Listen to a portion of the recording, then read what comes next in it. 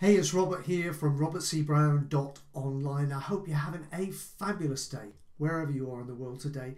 Now, today's video is all about what you should look for in a spirituality coach.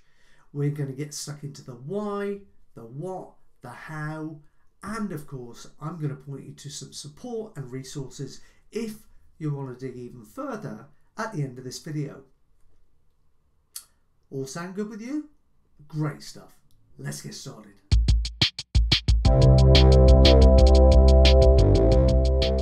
Well, firstly, I have to say that the prerequisite for a really good coach is the ability to listen. And there are different levels of listening. Most of us in life have never known what it's truly like to be listened to fully and deeply by another person. The skill of a really good coach is exactly this it's being able to listen to the client intently on all sorts of levels. Okay, there are different levels of listening. I'm going to get into those on another video. But to the point where they set aside their own agenda, they're not listening and then reframing it through their own perspective. They are just listening intently and they're blocking out all other distractions or judgments that come into play. Next comes the ability to remain impartial and set aside judgment. Now, I don't, I'm picking my words very carefully because I don't say that a coach needs to be non judgmental. And here's why. I hear all the time the fact that, you know, coaches talk about the fact that they will not judge, they're non judgmental. And I'm going to challenge that. Because it's my belief that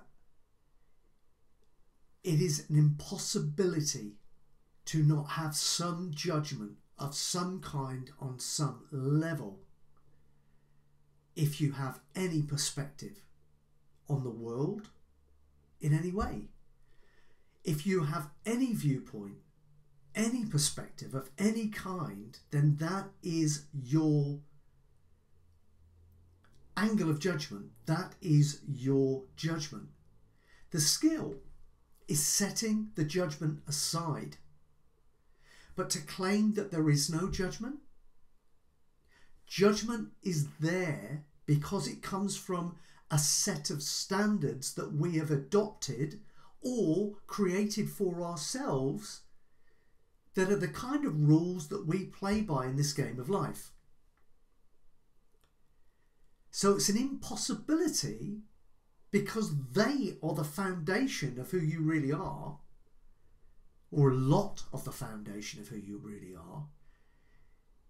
It is virtually an impossibility to not have some level of judgment. I hope that makes sense. However, the skill is that a coach should be able to set that judgment aside and not allow it to cloud his or her performance as a coach.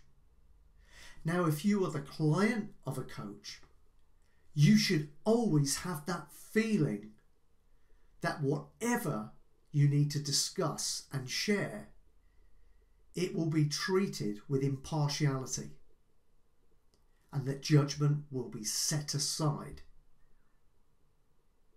But don't run away with the idea that a coach, no matter how skilled, has no judgment. Of course, there is.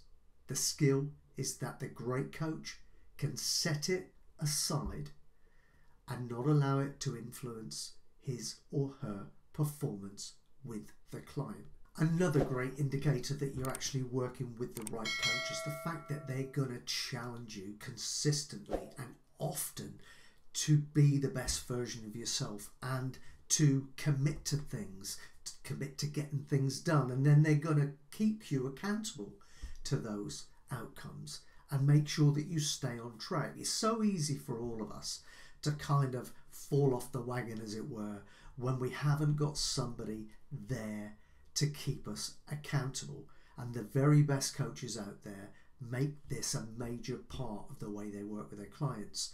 They are consistently setting new challenges to help the client continue to grow, and then they're also keeping them accountable to make sure they stick to task. It's so, so important. But the other thing as well is that if you're working with the right person, you're going to feel comfortable at all times to share everything that you need to share without fear again that they're going to bring, bring judgment into the equation. You know they're going to set that aside. They've got your agenda at heart, not their own. They'll never bring their own agenda into play. It's always about you and what your desired outcome is.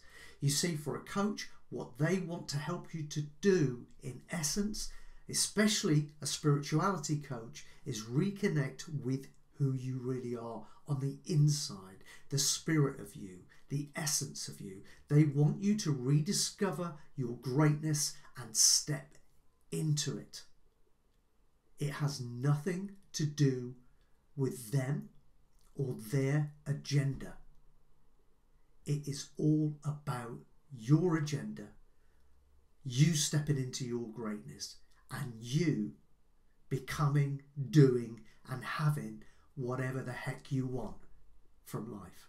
And finally, if you're working with the right coach, you should really leave every session energized, inspired, and motivated to take massive action in the direction of that which you want for yourself. If you're feeling any less than that, then perhaps you need to review the person you're working with because that really is the catalyst to everything happening for you, you know, is the ability to get emotional about things and excited.